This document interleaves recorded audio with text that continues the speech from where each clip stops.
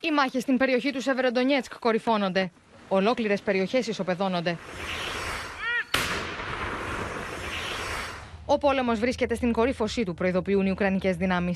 Бої на сьогодні досягли максимальної інтенсивності. Ворог штурмує позиції наших військ одночасно на декількох напрямках. Попереду нас очікує надзвичайно складний і тривалий етап боротьби. Ο πρόεδρο Ζελένσκι κατηγορεί τη Ρωσία ότι διαπράττει γενοκτονία στον Ντομπά και ότι ο στρατό τη έχει στόχο να μετατρέψει σε στάχτη τη πόλη τη περιοχή.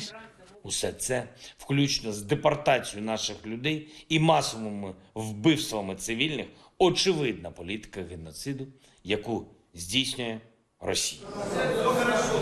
Στο Χάρκοβο, από του ανελαίτου βομβαρδισμού, πέφτουν νεκροί εννέα πολίτε, ενώ δεκάδε άλλοι τραυματίζονται.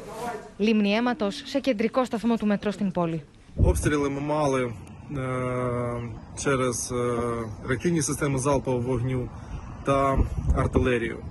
Це свідчить про те, що е, ворог знову підступно б'є по цивільному населенню, підступно тероризує. Украина это закрытый вопрос, да. Мне интересно Польша, да. Украину, да, скоро полностью заберем, и господин Зеленский, в кавычках, да, он, или у него кокаин закончится, или он сам Παράλληλα, στα συντρίμια κτηρίων στην Μαριούπολη ανακαλύπτονται άλλε 70 σωροί που βρίσκονταν σε μαζικό τάφο.